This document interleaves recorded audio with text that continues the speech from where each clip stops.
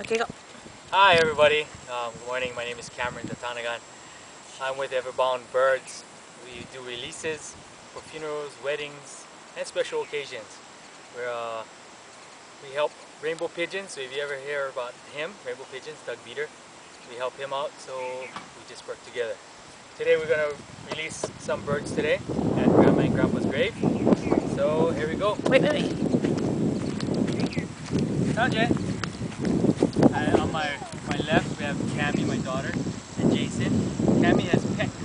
He's a junior member of our organization, which is Hawaii Offbreed Pigeon Association. You can find us at hawaiioffbreedpigeonassociation.com.